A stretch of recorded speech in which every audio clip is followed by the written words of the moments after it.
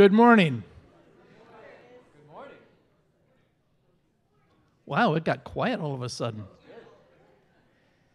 It's good to have you with us this morning. Welcome you to Grace Bible Church.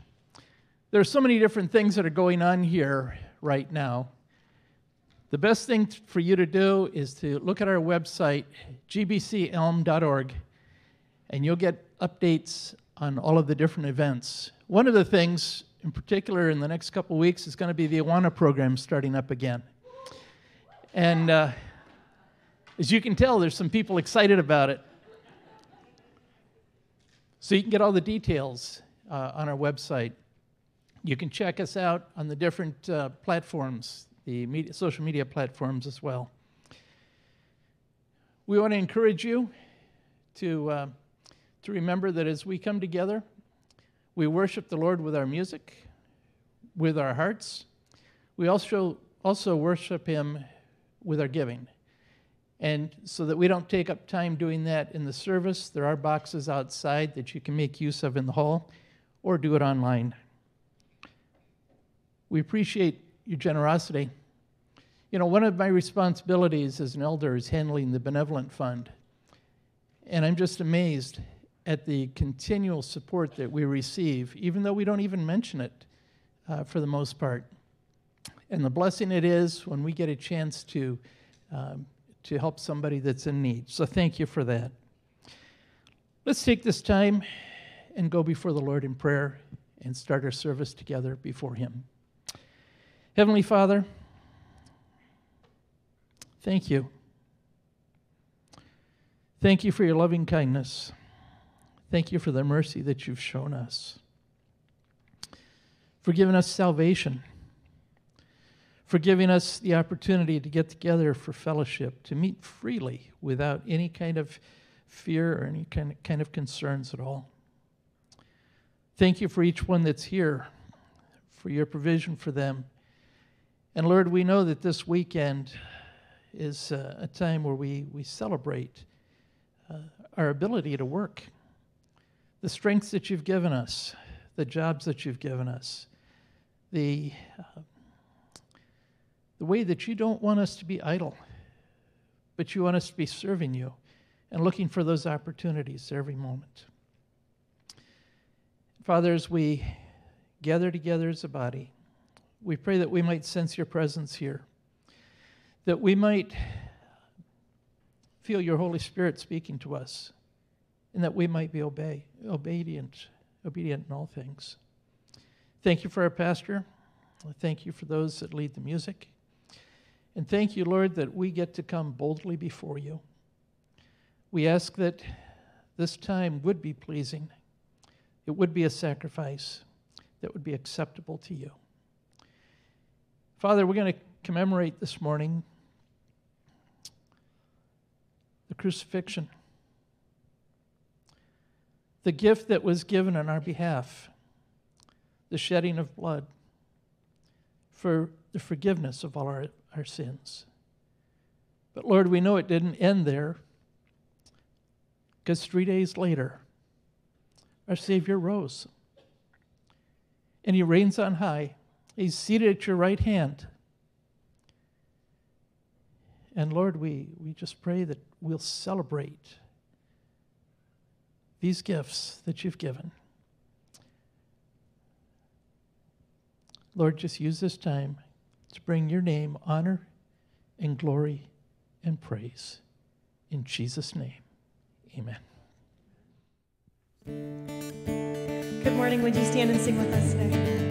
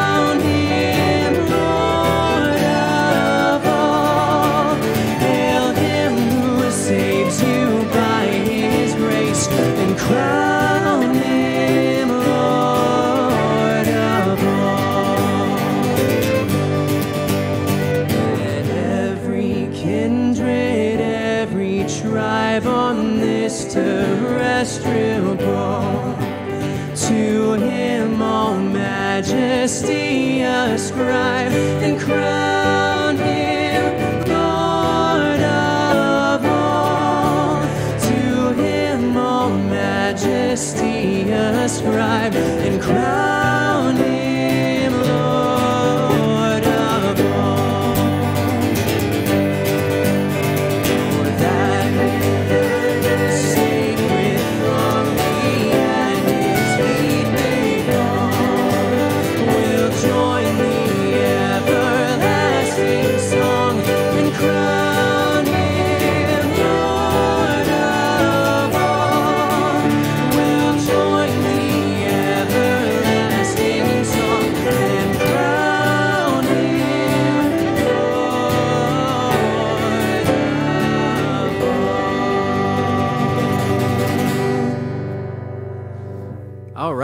you guys can have a seat.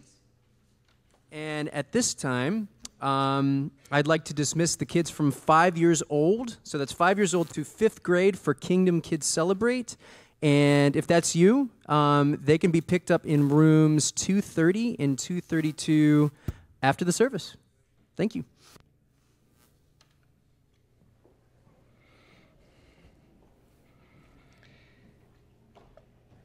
I once knew this woman who would wear a wedding ring, but I knew she wasn't married. And I asked her one time, I said, Why is it that you wear that wedding ring? She says, Well, I'm married to Jesus.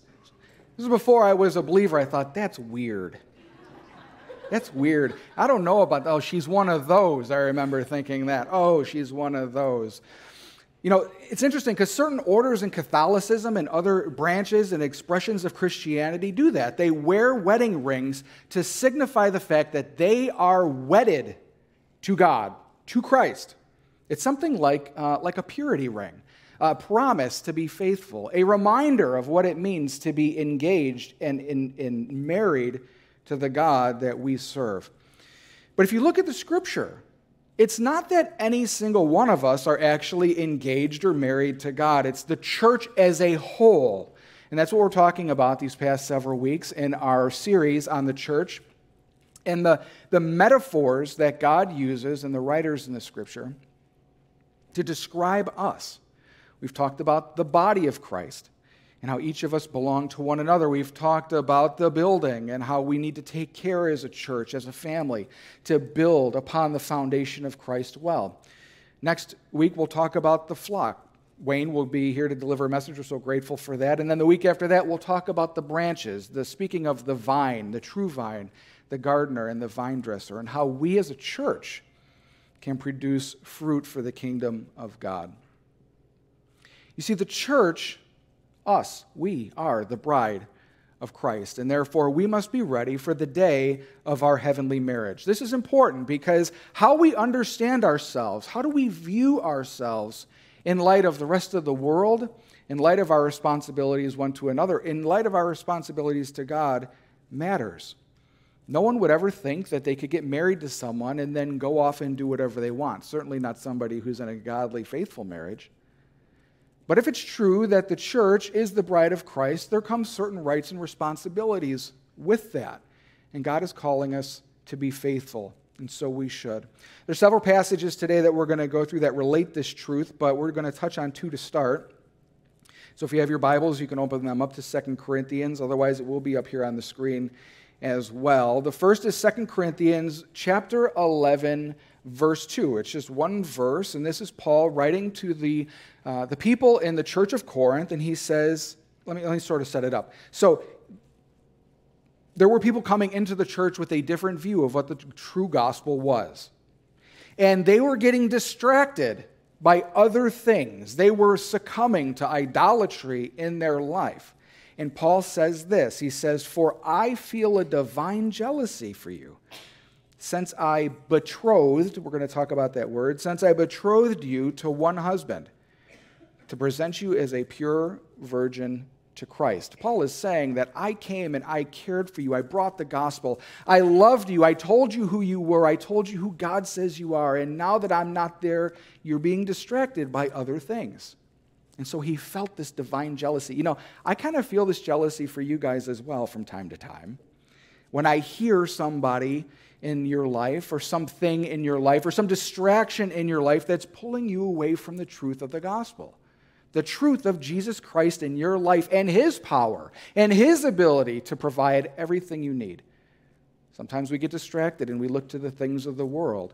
And where we're to be faithful to Christ, we become faithful to something else.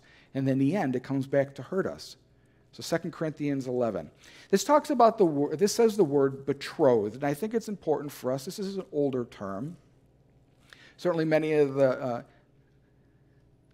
youngest among us would not know what this term means, but it's like a binding engagement. So imagine it like this the, the dating world today's got it all messed up. it's all messed up. Today, you like someone, you ask them on a date, you go on a date, you kind of just hang out. That's what that's like the famous phrase. So what's going on? I don't know, we're just hanging out. Then they begin to date, they go to so many dinners, then they advance next to engagement, then they get married. Okay? The truth is, is during this time that this was written, betrothal was something different. What would happen is, is that someone would go to the woman, get engaged, and once they were engaged, it was like a binding agreement. In some ways, they were already married. As we're going to see, they actually carry some of the rights and responsibilities of the person to whom they're betrothed. This betrothal could only be severed by divorce. This explains why, in, uh, when, in the New Testament, when Joseph finds out that Mary is pregnant, and he knows he wasn't there, he assumes that she was unfaithful. And so, even though they were not properly married and only betrothed, he was going to seek a divorce. And then the angel came and told him not to do it. So, betrothal and engagement during this time is very, very important, and we need to understand that. So, the first passage, Second Corinthians, second passage is Ephesians 5 25 through 32, which says this talking about human marriage, but it relates it to the gospel and to Jesus Christ. Husbands, love your wives, just as Christ loved the church and gave himself up for her, to make her holy, cleansing her by the washing with water through the word, and to present her to himself as a radiant church, without stain or wrinkle or any other blemish, but holy and blameless. In this same way, husbands ought to love their wives as their own bodies. He who loves his wife loves himself.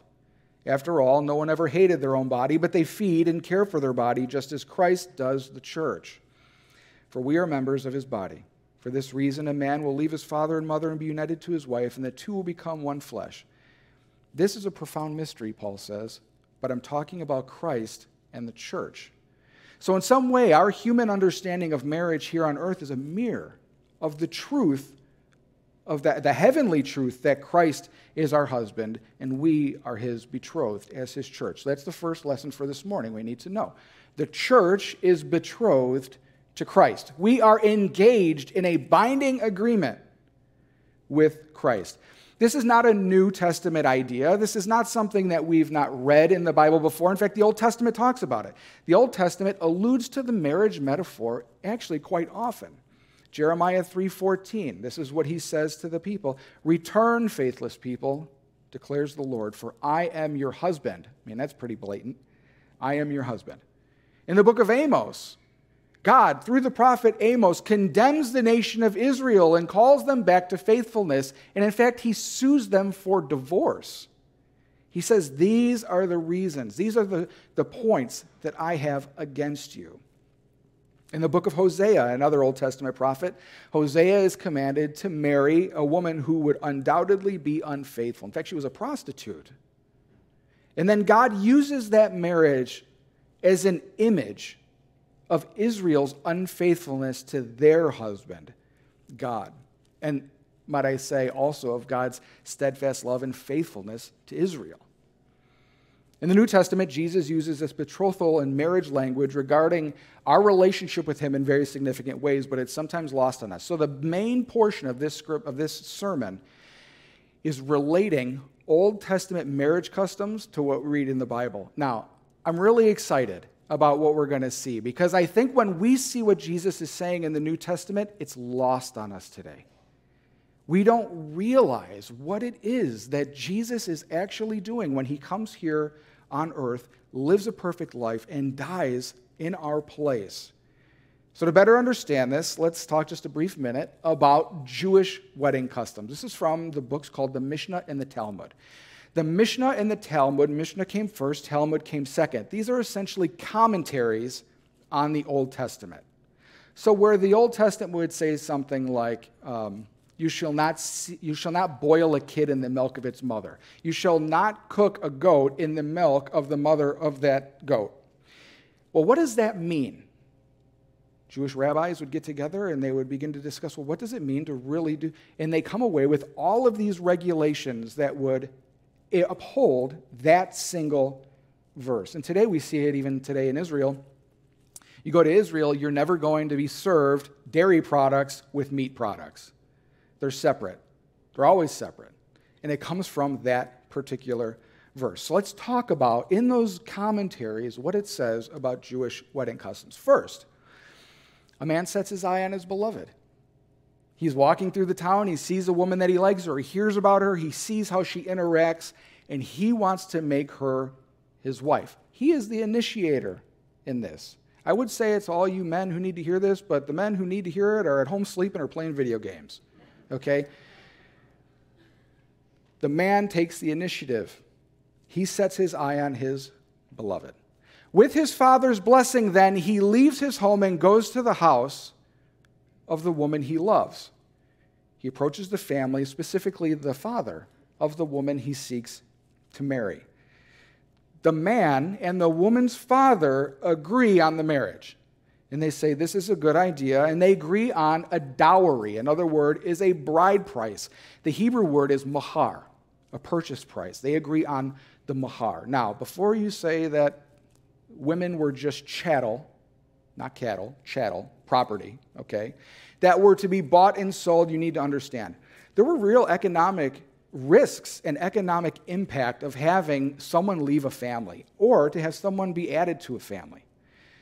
In that, in that, in that culture, which undoubtedly was a patristic culture, men were in charge, there's no doubt. It was a very man centric culture. You can read it throughout the scripture. There's no doubt about that. But in that culture, when someone in the family left, okay, that meant that there was economic downfall. And so, to make up for that economic downfall, there would be something of a dowry paid, a bride price. On the other hand, someone being added to a family would cause an economic windfall. And that economic windfall would then be offset by someone paying the family of the person losing the wife. Does that make sense? I don't know if that makes it any better, but that's how it went. What's interesting, though, is that the price of the dowry, the bride price, was known to the woman before she accepted. So she was able to understand her value in the eyes of her potential husband before she agreed to be wedded to him before she agreed to be betrothed. There's something beautiful in that. You know, think about someone coming to ask for your hand in marriage, and there was a bride price or a payment that came with it, and the person said, I'll give you a hundred bucks. Now imagine coming, back, I'll give you a hundred thousand. How special are we? We're going to see what the bride price was that Christ gave on our behalf. And we know what that value is. And when we see what he had to do in order to get us, to ransom us, not only do we see the severity of sin, but we see our value as his beloved, our value. And the woman had to agree. There was not a coercion, oh, maybe coercion's too strong. I'm sure there was probably some coercion. But the woman had to agree. She did not get betrothed against her will. There had to be an acceptance of the offer. With acceptance by the woman, a covenant was cut between the father, the son, and the bride. Sound familiar? They would seal their marriage by both drinking from a cup of wine, starting a new covenant. Betrothal, like I said, was a legally binding covenant. For all intents and purposes, they were married, and all the right and authority given to the husband was then transferred to the bride in that moment. Does that sound familiar? Matthew 28 All authority on earth and in heaven has been given unto me, therefore go. Perhaps you already see the parallels. So let me explain them a little more specifically. Jesus set his eye upon us. From eternity past, he has known who we would be, that we were his beloved, that he would come to die for us, to be ransomed, to ransom us by his own blood. Ephesians 1 3 and 5 says this Blessed be the God and Father of our Lord Jesus Christ, who has blessed us in Christ in every spiritual blessing in the heavenly places. Even as, listen to this, he chose us in, in him before the foundation of the world. Before the foundation of the world, that we should be holy and blameless before him. In love, he predestined us for adoption to himself as sons and daughters through Jesus Christ, according to the purpose of his will Sometimes when I'm talking to someone about the Lord, maybe they're not a believer, eh, and, and as we're discussing it, and I'm saying, do you, do you understand what I'm talking about? Does this make sense? They start saying, Oh, I get it. I get it. I start to see a wash come over them. And I can't help but think about I'm witnessing in real time something that was ordained in eternity past. Think about that. The fact that you're a child of the King, the fact that you're a child of God was ordained for forever. That Jesus has always had his eye on you. That he knew who we would be. That he would ransom a people for himself. That he would one day have a bride of those who he's loved forever. The next series we're going to do is actually on love. Well, we're going to talk about love uh, in all of its facets and many of its facets. We're going to talk about God's love and who God is as a lover and who we are as a lover of God, and most importantly, perhaps how we love those around us, because that's the evidence that we really and truly have embraced the love of who God is. I'm excited for this because, little side thing, I'm excited for this because we spend a lot of time talking about, which is true, that God loves because that's who God is. We need to talk a little more about God loves because he loves you and you're special and he wants you. We don't talk about that stuff enough. Jesus left his abode, his father's house, to establish a marriage covenant with us. Galatians 4 4. But when the fullness of time had come, God sent forth his son, born of a woman. In John 1:14 it says the word became flesh and dwelt among us and we have seen his glory. The second person of the Trinity was born into humanity as a baby as Jesus Christ and died on our behalf to strike a covenant with us, to be engaged to us, and to one day bring us to Him in a heavenly matrimony. And of course, probably most obviously, Jesus paid the bride price. 1 Corinthians 6 specifically says, You were bought with the price. You are not your own.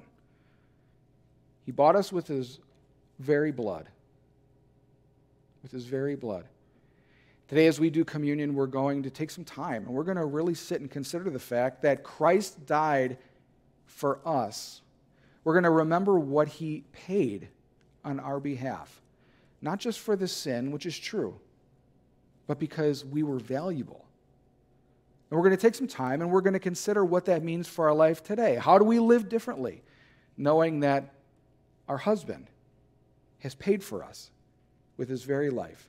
Revelation 5 9 says, And they sang a new song, saying, Worthy are you to take the scroll and open its seals, for you were slain, and by your blood you ransomed, pe- you ransomed people for God from every tribe and language and nation. And you have made them a kingdom and priests to our God, and they shall reign on earth. Jesus establishes a covenant with us. This covenant that he proposed, we call it the new covenant, foreshadowed in the Old Testament and consummated and made real in the new. It's a promise, a new way of interacting. The new covenant says that I'm going to do everything for you because you cannot. All you have to do in response is believe. Is believe. Everything that we do in our life, thinking that we're appeasing God, thinking that somehow God's going to love us more, can be set aside because Jesus did it all. We simply embrace it by faith. We agree. Just as the bride agreed to the betrothal, we agree with ours. And finally, the covenant is sealed by sharing a cup of wine. We're going to do that in communion. We're going to consider when we take these elements, when we drink this juice, what does this mean? This is us accepting a proposal. It's us saying, Oh, yes, I do. so, what else does the Mishnah of the Talmud say about Jewish wedding customs? Well, after that all happened, after the co- covenant was made, after there was an agreement by the bride, after they sealed it with the cup, the man would go back to his father's house. He would prepare a room attached or adjacent to the father's, and he would begin to prepare a place for his bride. Interestingly, it could be a, a long time, as long as a year. The, the betrothed, the husband, preparing the place so that on their wedding day they would have a place to dwell forever. Now, it's so interesting. When the man would retrieve his bride was unknown to the man. So when Jesus said, I don't know, no man knows, not even the Son, he was speaking the truth. We chalk it up and say, well, it was in his humanity that he didn't know, and he limited himself to his under. If you look at the custom, the Son didn't know. It was the prerogative of the Father. The Father would come in, he would look at the place prepared, and he would say, Son, I think today is the day. There's even evidence in the Talmud and Mishnah that this would happen in the middle of the night sometimes. So when we read, be ready, have your lamps lit, be filled with oil, you don't know, like a thief in the night I come. Jesus is speaking truth that he knows not when he will appear, that the Father will tell him now. And one day he will come for us, his bride. Second point, our betrothed has gone to prepare a place for us. John 14, 1 3. Listen to what Jesus tells his disciples. Do not let your hearts be troubled. You believe in God, believe also in me. My Father's house has many rooms.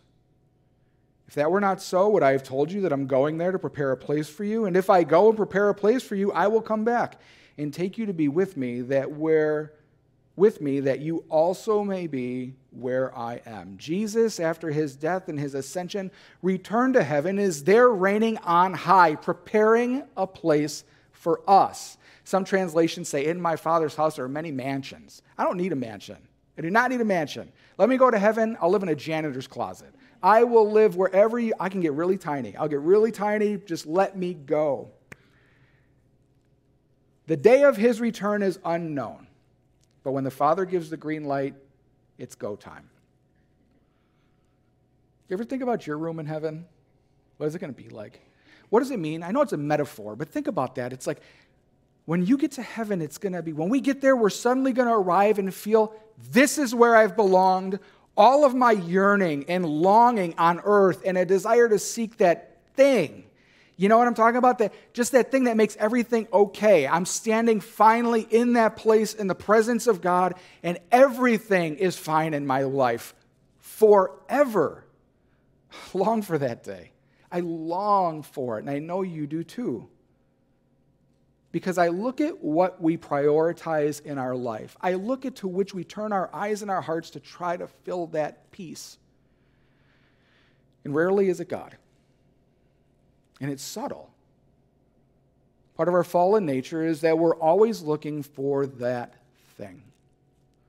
And never being satisfied because we were made to never be satisfied, we will finally find our satisfaction in the one who gives forever and infinitely.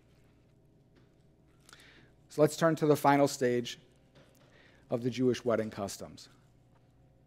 So, once the father gave the green light and said, Today's the day, go get your bride, he would gather all of his friends. And he would say, My father said, Today's the day. And they would be walking through the streets to the house of his beloved, making noise. And when they got outside, guess what he would do? Shout just like the scripture says. The groom would take his bride back to his father's house where there would be a long celebration, inaugurating the start of their marriage proper, the wedding feast. When we look to the scripture, we see this. This is number three. The day, one day our betrothed will appear and take us home to be with him forever. In the scripture, it says Jesus returns with the shout of an archangel. 1 Thessalonians 4 16 through 18. For the Lord himself will come down from heaven His father just told him, Today's the day, go get your bride. The Lord will come down from heaven with a loud command, the voice of the archangel, with the trumpet call of God, and the dead in Christ will rise first. After that, we who are still alive and are left will be caught up together with him in the clouds to meet the Lord in the air. And so will be with the Lord forever. Therefore, encourage one another with these words that as hard as life is here, that is difficult and painful and sad, and yes, there's joy, but let's not be confused. Life is hard. Life is hard. That one day we can look to the end and know that everything will be made right. So, those injustices that we suffer, those times when people in our lives get one over on us, those times when we believe that we should have had it another way, a better way, but it didn't work out. Those times we get sick and we weren't healed. All of it. All of it will be made right one day when our husband returns to bring us to himself forever. Forever. This is called the rapture. In fact, the word rapture comes out of this passage. It says, and we will be caught up. That caught up word in Latin is raptio. It's a word that we get the English word rapture from.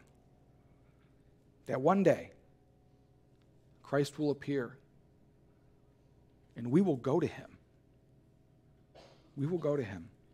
Revelation 19, 6, 8 says that there's going to be a, a, a, feast, a festival, a celebration like none other. Then I heard what seemed to be the voice of a great multitude, like the roar of many waters, like the sound of a mighty peal of thunder, crying out, Hallelujah, for the Lord our God, the Almighty, reigns. Let us rejoice and exult and give him glory, for the marriage of the Lamb has come, and the bride has made herself ready. It was granted her to clothe herself with fine linen, bright and pure, for the fine linen is the righteous deeds of the saints. When we stand before God, because of what Christ has done, we stand perfect and pure before Him, and our deeds, the good, the, we talked about it not that long ago, the good things that we do out of the right heart will clothe us, and we will shine as children of light. So, what does this beautiful and sublime vision mean for us today? We got to be ready. Number four, we are ready. We are to be ready for the return of our betrothed. We cannot get caught unexpectedly. Unexpectedly. We must live another way. We must live with our wedding day in mind. Lane and I were engaged. You're going to tell me the exact time. I'm going to get it wrong. How long were we engaged for? 18 months, right? Yeah, 18 months. Okay. 18 months we were engaged. 18 months is a long time. You guys know I'm talking about. It's a long time. And in the beginning, it was like, we got this. We got this. We're going to we're going to do this well. I remember coming out of prison and saying, I need to live differently than the people around me, and I was fully committed to living differently. Lane had worked in youth ministry for so long, talking, talking about remaining pure for her husband, and all of this, there was a lot to lose here. I mean, of course, sinning against the Lord, all that the utmost importance, obviously, but we did not want to be hypocrites. We did not. And we knew you stinkers were watching. So in the beginning, it was good. We started strong. But then you get into the doldrums of an engagement.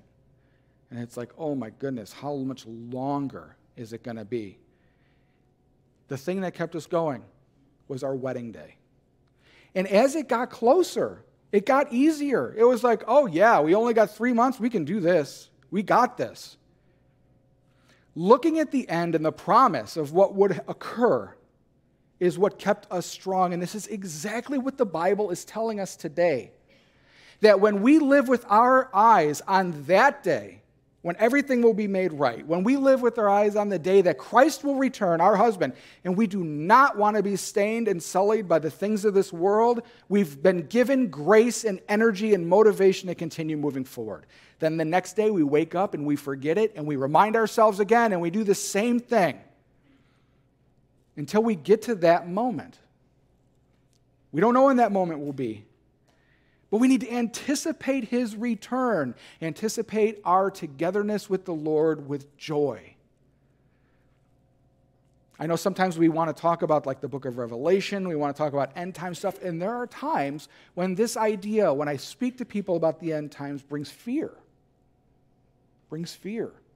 They read about the great tribulation and they worry about what's going to happen to them or to their loved ones, and rightly so. Get out there, guys.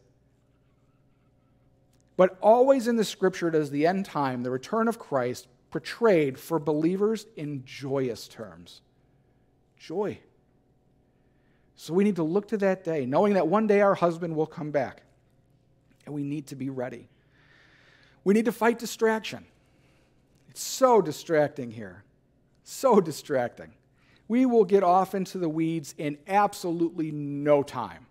And for me, I don't know about you, I always like wake up one day and I'm like, how did I get here?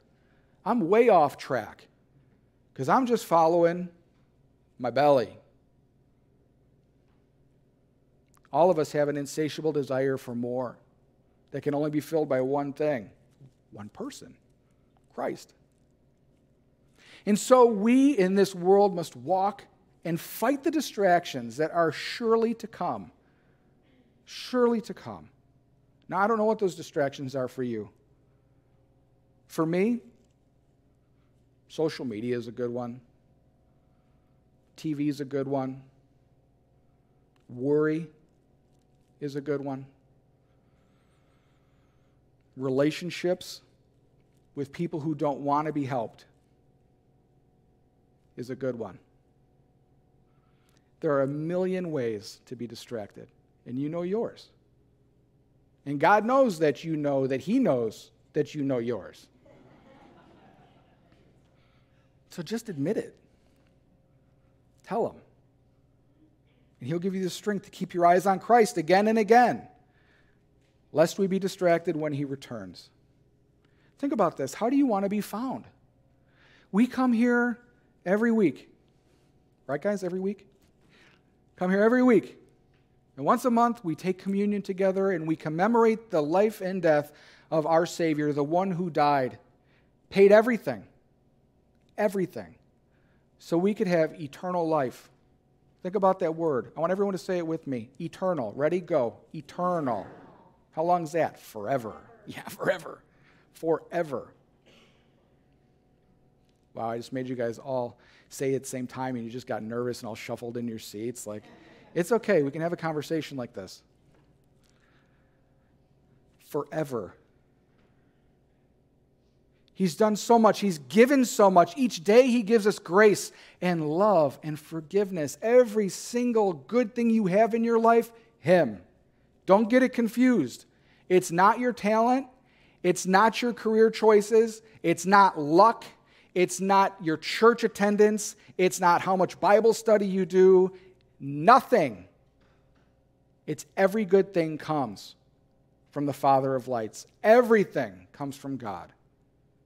So if He's given us everything here on earth and then for eternity in heaven, how do you want to be when you stand in front of Him? I know that when I get there, Bible says that because of what Christ has done on my behalf, I will be, it'll as if I'm sinless before him. Because the truth is, is that's how God looks at us now. I'll be sinless before him. And he'll say, Come. Come. Because of your belief in my son who died. Is, if it's Christ speaking, come because of what I did for you. But I'll know. I'll know. Every time I messed up, Every time I chose to go my way instead of His, every time I wanted something more for myself than I knew God wanted for me, I'll know. On the one hand, that will exalt God, Christ. The gap that's been bridged by Christ is so much further than we think, so much further. But in the end, I want to be found ready. I want to be found ready.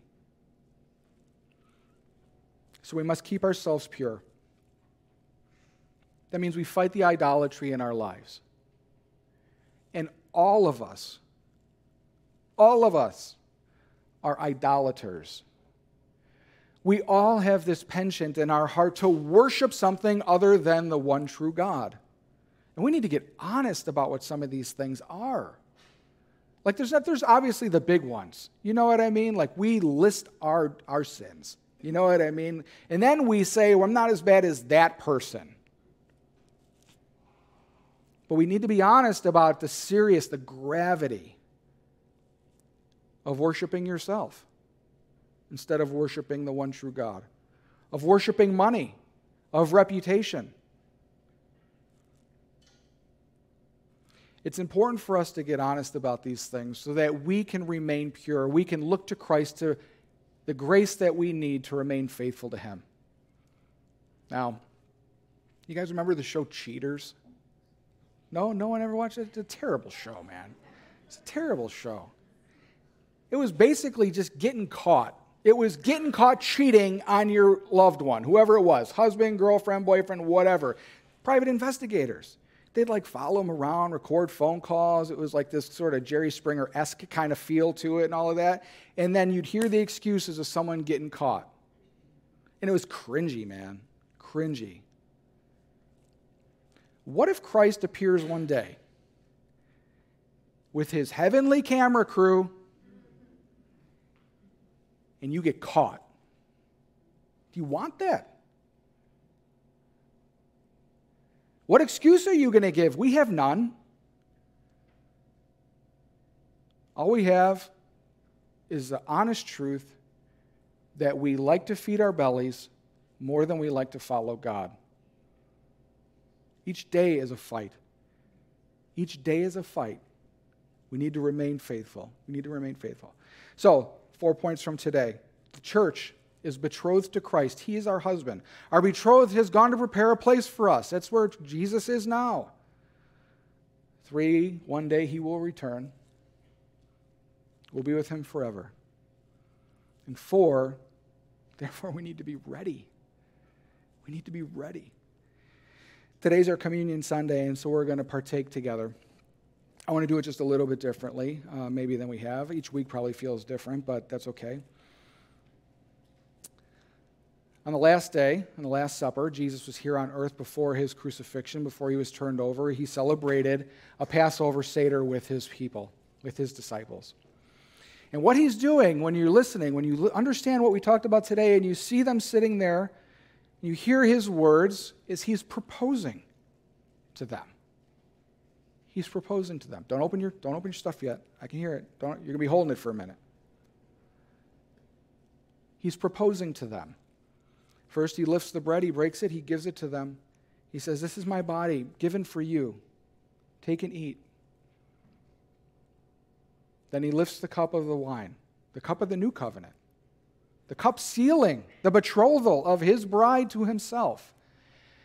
He says, This is the mohar, the bride price, my blood. He says, Every time you drink this, remember me, and that you are bought with a price, and that you are not your own. So, what I'm going to do is I'm going to pray for the elements. Then we're going to sit. We're going to have a moment of special music. All right? And I really want you to reflect on the fact that you, that we are the bride of Christ, that we're called to lives of faithfulness, that He's gone to prepare a place in perfection for us, and one day we will be there, and we must be ready. And ask the Lord to show you those areas of your life that need to go, that need to go. Ask Him to show you how, how to live differently and to give you the grace to do it in accordance with His will. After that, after the song, we'll get up and we'll take communion together. Together as the church. And then we'll finish our worship service together. All right? So let's take a moment and let's thank God for these elements. Father, we thank you, Lord, for your unbelievable, indescribable love for us. A love that moved you to sacrifice your son, your son from eternity, that we might be together with him forever. I pray, Lord, that you would bless this time. May your presence be here in our hearts, that we would feel it and realize it and reckon it, Lord. We pray, Lord, that you would bless this bread and this juice. And Lord, as we take it together after the song, we pray that you would make the life and death of your Son Christ again real to us, driving home his great love. We pray, Lord, that you would be with us this day. In Jesus' name, amen.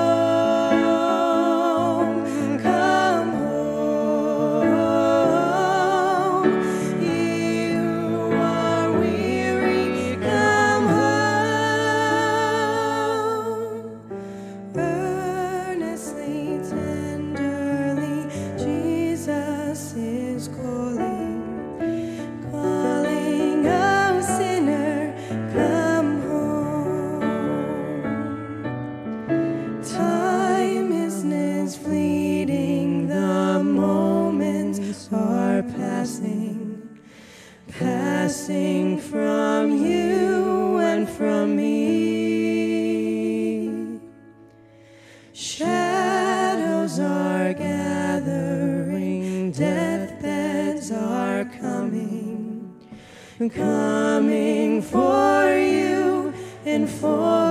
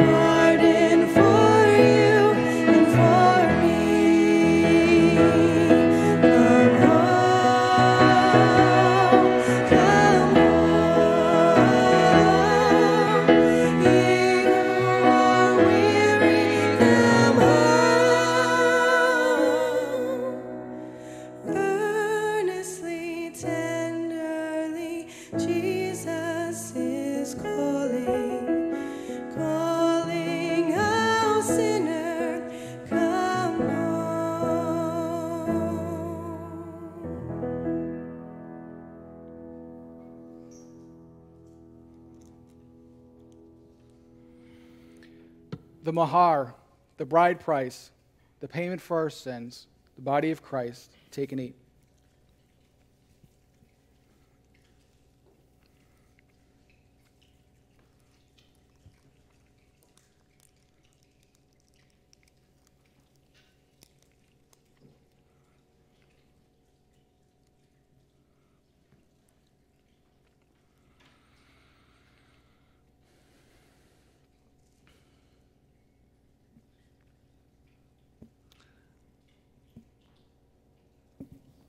likewise the, the price for our sin and the value of his great love for us, his blood. Take and drink.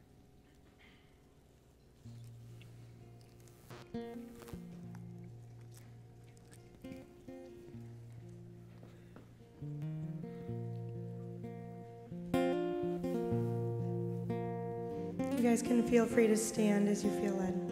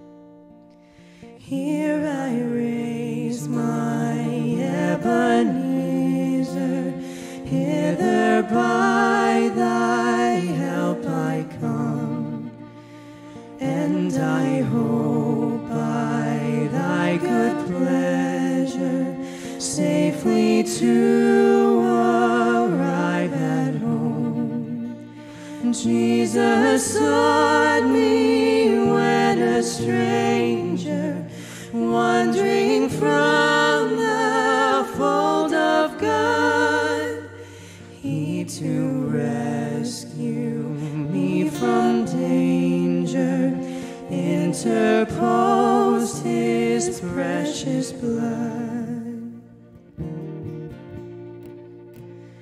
Oh, to grace, how great a debt.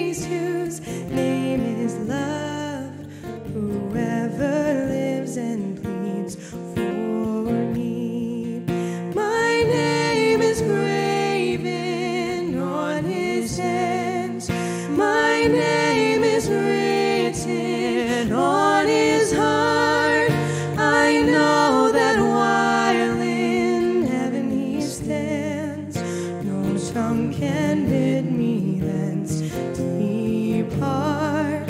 No tongue can bid.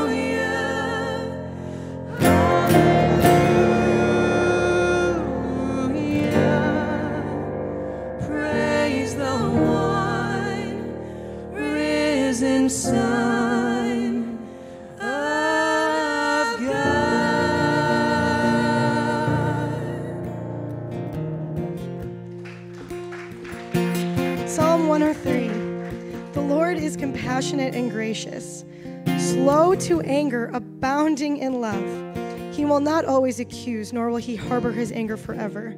He does not treat us as our sins deserve, or repay us according to our iniquities. For as high as the heavens are above the earth, so great is his love for those who fear him. As far as the east is from the west, so far he has removed our transgressions from us. As a father has compassion on his children, so the Lord has compassion on those who fear him.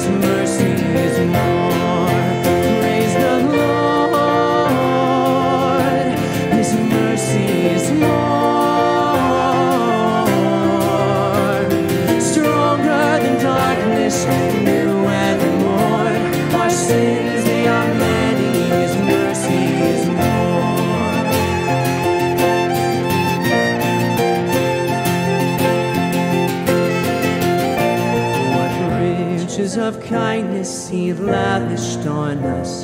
His blood was the payment, His life was the cost. We stood neath the debt we could never afford. Our sins, they are many, His mercy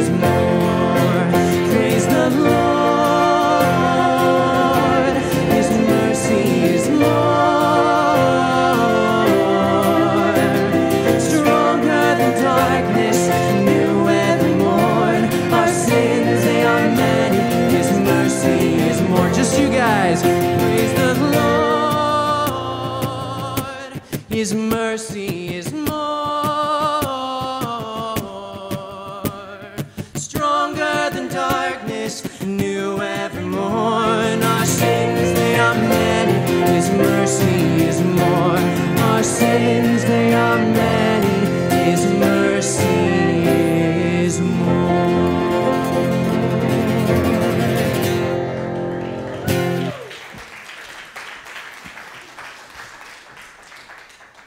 Hey, let's do that every week. Let's do that every week. Next week, I will not be with you. We talked about uh, Pastor Wayne's going to come up and deliver a message on the flock, another one of the metaphors of the church, and so we're excited for that.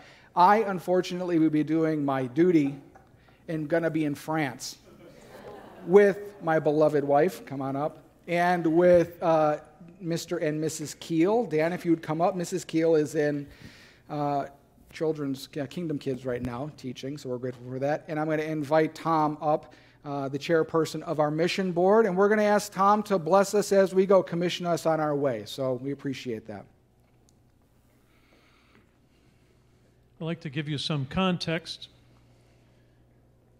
Grace Bible Church has supported missionaries since its existence. And you might wonder why. Remember that verse that was on the screen that talked about voices from every tribe, hmm. every language? And remember the verse that says, How will they believe unless somebody tells them? And who will tell them unless they're sent? Well, you and I are sent to our friends, our families, our neighbors. But who will tell those in countries where there are hardly any Christians at all? Now, you might think France is a Christian country. But Christianity there is a building with very few people many times. And many of the people there don't know the Lord.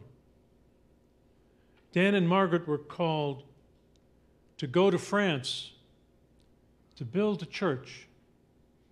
One of the churches they built was Senlis. How many years were you there? About 20 years. Yep. 20 years in building a church that is a thriving church today. They came back after that, and, and their heart was troubled because they had family concerns. And they knew if they went back to France at their age, 20 years to build a church. But the Lord led them to go back. And they went to the city of Noyon, the birthplace of John Calvin. And the Lord did a mighty work because that church began to grow and flourish. We as a congregation have been part of that. Every once in a while, we have contributed to their growth, their building, their support. But that's money. This time, as that church is ready to open the facility that they've labored long and hard to bring to fruition, our pastor and his wife, Dan and Margaret, are going back to encourage and, and give them support in a very personal and loving way. That's so important. And that's why they're going. So let's pray for them as they're there. Because this is a people that you will one day stand with every tongue. every tribe. And you will have a part in the building of that church. And that is a wonderful thing. So let's pray for them as they go. Father, we thank you for the work that you've accomplished in Noyon in building your church. And we pray, Lord, as Dan and Margaret and, and, and Pastor Adam and Elaine, as they go to celebrate, to encourage, uh, to show a personal love for the people of Noyon, that you would bless them in that travel, in every word that's said, whether it's in English or in French. Help the translations to be well done so that all can be blessed and you can be glorified in the establishment of this church. Pray for journey mercies, but more importantly, we pray that our love for them and their love for us might be clear as brothers and sisters in Christ. Mm-hmm. And in Jesus' name we pray. Amen. Amen. Thank you, Tom. I forgot to have you sit. I'm sorry. One last thing. Out here next to the office door, there are paintings that Melanie Peters has done every week, coinciding with. That's right. We're clapping for the Lord. That coincided with each one of the messages in this series, so stop and take a look. They're awesome. They're so awesome. So, all right, don't sit down. Go and stand. I should have had you sit before. Let's let me bless you guys. Father, I pray that you would be with my brothers and sisters as they go. I pray, Lord, that you would give them joy and remember that you're returning. I pray, Jesus, that you, when you come, would find us ready, faithful, and so excited to go be where you are. And it's in Jesus' name we pray. Amen. God bless you guys. Go in peace.